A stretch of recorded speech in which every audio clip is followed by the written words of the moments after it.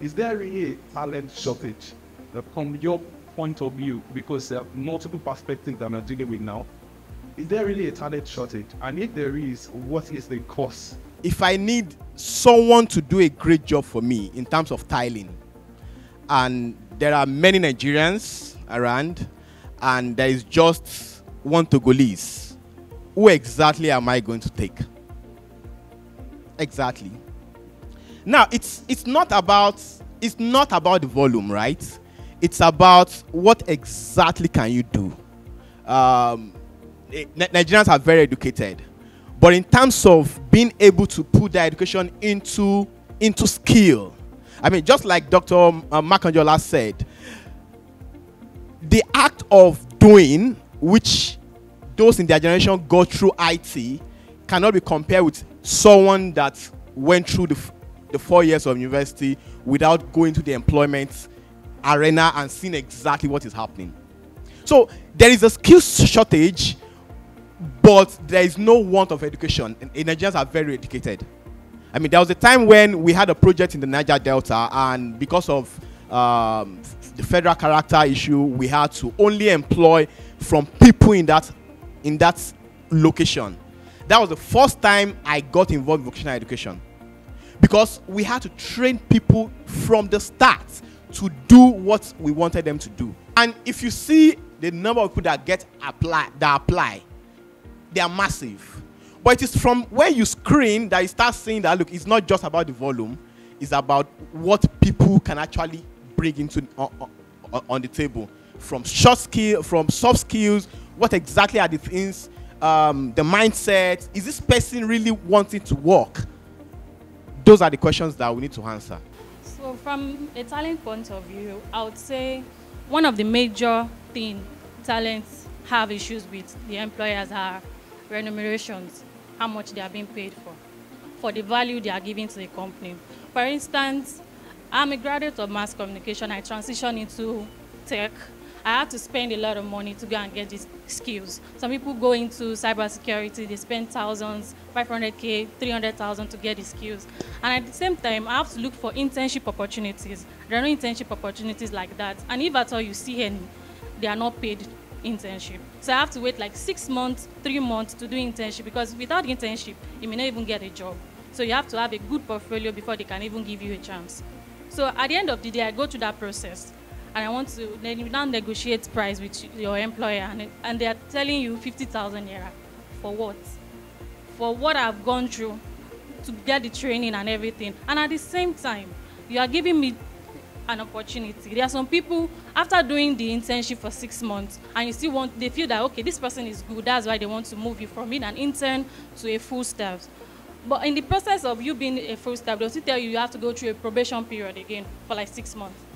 Since you have interned with you, you know my capability, you know what I can do. But because they don't even want to pay as much, but they want to use you so much in that space of time, they'll tell you, okay, you have to go through another process, probation, six months again.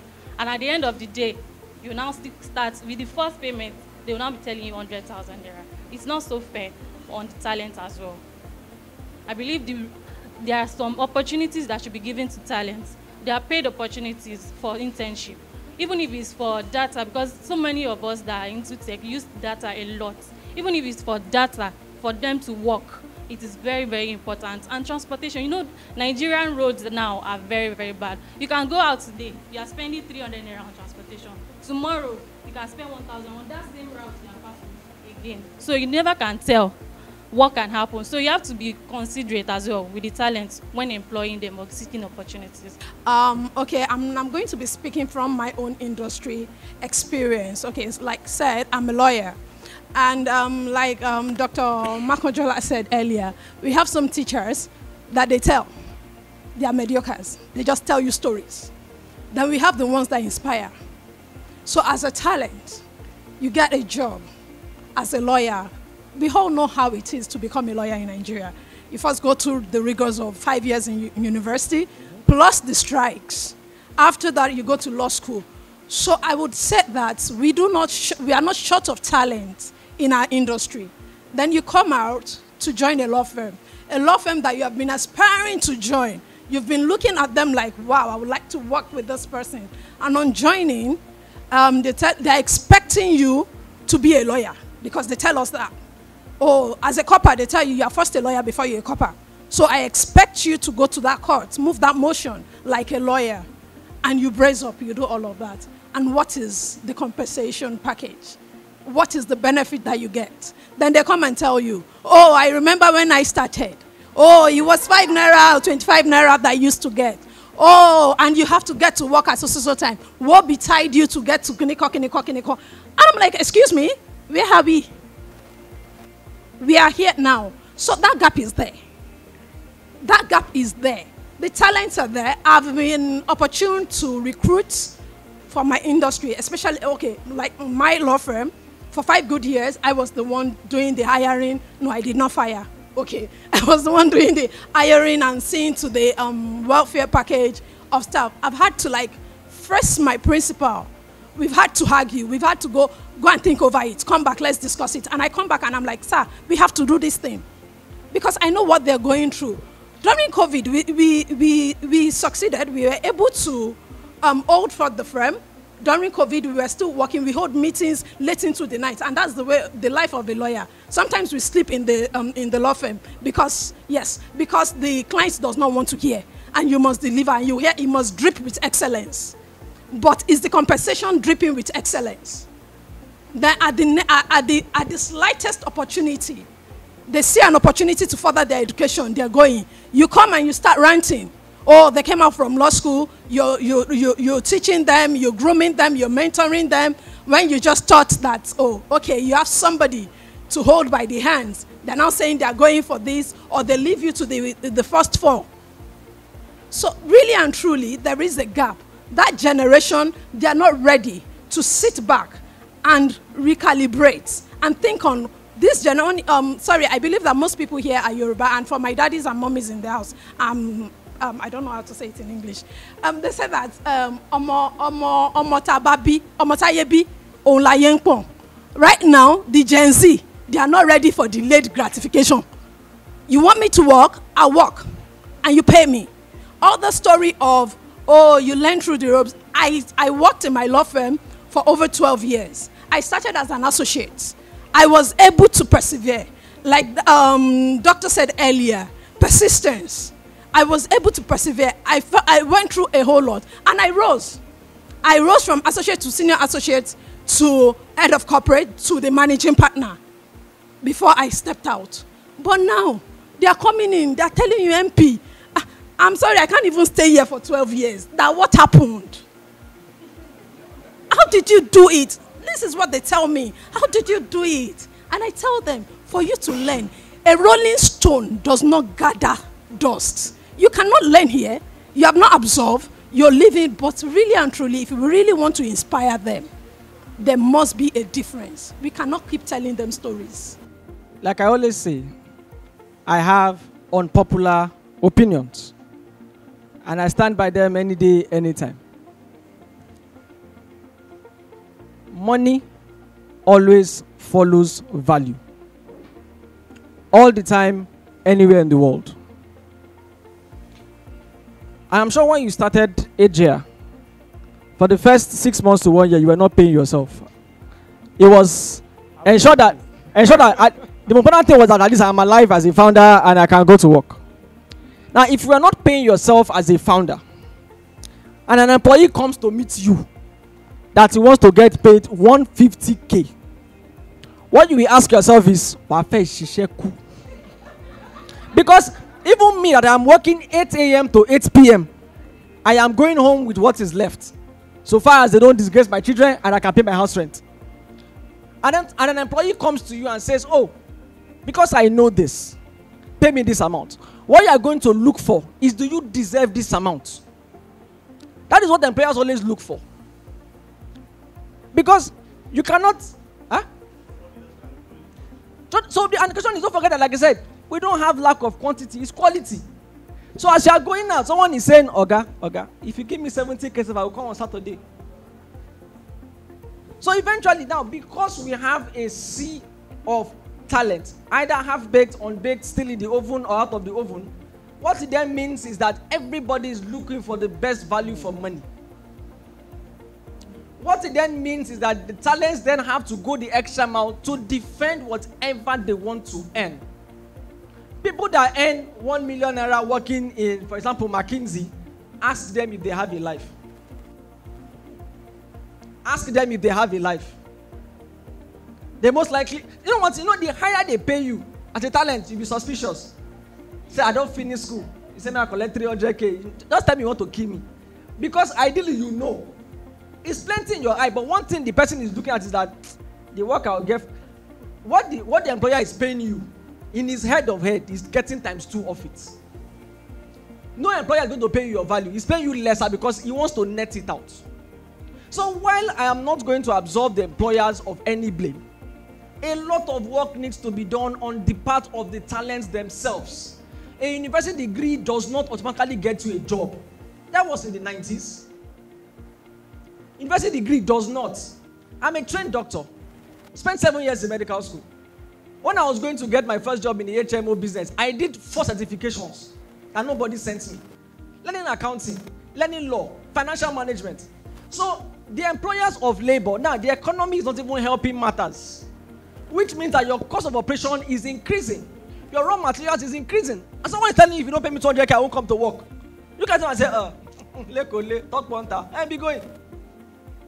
So there also so it has to be on both sides. Yes, the employer has to be empathic enough to understand that whatever I'm going to pay this guy must be a really take home, not take to the gate. Because they're two different things. but but to whom much is given, much is expected. So I like what Tosin said about people working from home. If you're an employer of labor here, you have examples of people who are supposed to working from home, and you say hello, join the say, ah, join the meeting, so, so next time what will you do? You tell him, sit your bum bum in my office.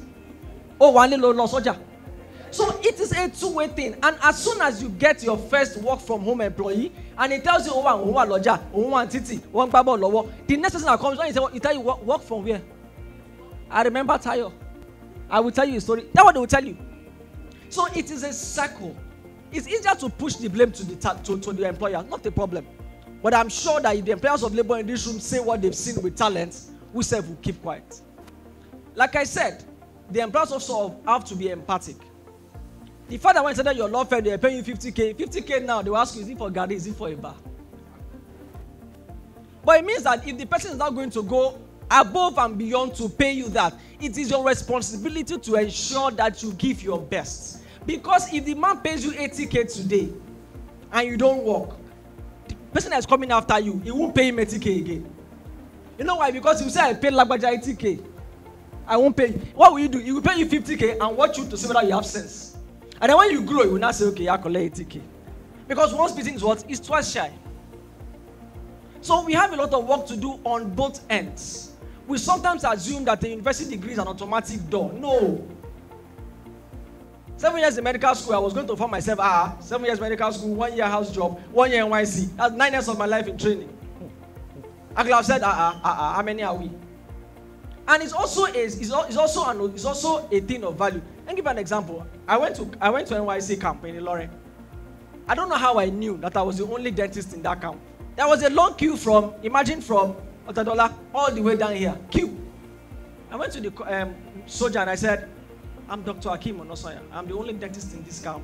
I need to register and go to the clinic. I went to the front. I registered. I went to the clinic. Why? I knew my value. I was the only one in that camp. If anybody has any dirty tissues, I'll tell you I'm in queue. See what I'm there. I knew my value. I could stand my ground. The talents also need to stand their ground. Sometimes you stay at home without a job because you know your value. People would see, there's some tailors that if you say, so kaftan for me for 15k, they will say, bring it. But when they give you jalamia, you know that it's a different thing entirely. And some people will tell you, lie, lie, 15k, I'm not collecting. You not get that 15k to Bada Fataya, jalamia, lower run for it. You go back and say, hey, how much you want? 25k. You say, collect. Because me, we are no one give you before, my eye don't see. So there needs to also be the pursuit of excellence on both sides. Economy is so hard that the employers are looking for the best way to get talent at a cheap price. It is the concept of labor. if if every employer pays employees what they deserve they won't they won't make profits if you have your own business today you will do the same thing but then you give yourself justifications because nobody is there so on both ends yes like i said employers give a good condition now what should the government do? Ensure minimum quality on both ends. Ensure protection of rights on both ends. Ensure that if you are going to pay a out of school graduate you should not pay less than this amount. That amount would have been gotten by adequate research and data to show that that amount can take that child home. Then if anybody pays less than that you then have a court of competent jurisdiction that you can report your employer to. Wọn be that question next time and also the government will also ensure that the irregular cost that small businesses pay. Because if i imagine if you pay hundred k on fuel in a month and ẹnìkan ní wàá san two hundred k fún wa salary. Are you diesel? Even diesel can only diesel can control sme sme holders. Diesel and fuel are the only people that can control them. Whatever they say they have to pay. So government has to ensure that there's an enabling environment for small businesses to thrive. Because if the cost of if the cost of production is low you then have more leeway as an employer of labour to do other things and that's why if you work in private company they tell you that when we make excesses we distribute bonuses. So you also talked about the fact that big companies don't experience this. The truth is smes will always have high attrition of employees. You know why? They are the only ones who will give these guys a chance. So i work with this small i work with this small company today and i've learnt i want to an accountant i've learnt two three more cash books my I, my head is telling me kpmg is the next kpmg is the next kpmg is the next. But because if i go to kpmg they will tell me go back home. What do you know? I so you now use smes as a launching ground. Don't see those sme roles as your permanent roles. That's why you get disappointed. You work with them look for the one close to your house. So owó mọ́tò ti kúrò nbẹ no there's another that says the man who does more than he is paid for will one day be paid more than for what he does. Yes. And that's what our fathers are trying to tell us. That when i was like you i was two kobo mo salary. Two kobo i bought my first car at ẹyin nìyẹn sábọ wáyé wájẹ yà but it doesn't also mean that you should not put your hard work. So the small business owners are supposed to be a launch pad for talent. Spend one year two years there get your skill and go. You know why to pay them? Because because they don't make much. They can pay you small. When you go and that person who have experience to collect the small you have gone to get something higher. The person then leaves so it is a cycle that's why for those that relocate to the uk today you cannot get a job in the uk as per say eh i went to this school. I have my mph mba collect job with mckinsey uk if you try it has to be maybe someone is paying for you from a village. What would you do? You have to work with small business owners get at least some form of work experience before you now face the bigger boys. And that's why those small business owners get cheap talent because they will not pay you twenty pounds per hour but they know that they are paying a master's degree reference pounds per hour. But without them you can't get the big job you want so it's a circle. The government should ensure that both rights are protected on both ends. And education quality is low. Don't let us lie to ourselves. My wife studied in the uk she was teaching me how to use google. Lẹ́yìn seven years in medical school it was a shame on my head. When she was in final year they they they took them a training on how to write cvs and gave them mock interviews. She spent three years in school. I spent seven years. She was i used her cv to do my own cv but i came out knowing my defects. Pe i know from the gate that i am half baked the work is left to me. Nobody will pay an half baked salary an half baked person salary he deserves. They will pay their salary the half baked pay until you add to yourself. And when you get the skill you yourself dey know say you get skill. When you know your skill when they tell you how much one fifty you say me no. You work out knowing that you know your worth so it's on both ends. Economy o da things are tight. Everybody is looking for the cheapest. If anybody sells adulterated diesel now for hundred naira people will buy even if they know it's bad but because so cheap. Someone was telling me about he trying to interview the an md for a microfinance bank. And he asked the young woman what systems did you put in place when you were a previous md she said uh, we have accountant. Then there is receptionist at the door. Then there are two people in back end and he was shocked. Now that person will say because she has ten years work experience she wants to earn one million. But from looking at you if i give one million me i die. On top wetin you answer me. So it's on both ends value has to be exchanged. Uh, because we are too much in the market we need to do above and beyond. Take the small business owner jobs you have in your area to gather work experience. I tell someone I went to medical school where we have classes 8 to 4 every day for seven years. I was surprised when someone said if you go to Unilag, some people have lectures twice a week. Ah! At the law school. They said yes. I'm like, wow. You know what that means? It means that the three days left in the week, volunteer with the woman beside your school and be her accountant. Help her to do her cash book at the end of the day. Put in your CV. Petty cash accountant. If you do it for three years, how many years experience? What's the matter? As an employer of labor, I will give you more preference because at least you've done it before. The handholding will not be so much for you. For the employers, we know how hard it is. We know your margins are small. We know petrol cost is eating into your costs. We know trans- traffic is eating. But please be empathic. Understand that this, don't use them. Instead, prepare them. Because they are two different things. It means you meet them where they are and you also help them. Some people will pay you a little amount of money, but when you work with them for two years, you can go and collect 5x that amount at the company because even beyond what they were paying you, they built you together. Which means that we also must be open to apprenticeships, to internships. Your first job as a graduate is basically apprenticeship, as in Koshalo, because we have no clue. And that's why they call us management trainees. Because they are still training you. They leave you with the company Wajenru. Not because you want to, but because you don't know how to. Give someone who doesn't know how to repair car Benz. Good intention will not, let, good intention will not help him. Oma, Oma Benz enjoy with good intentions.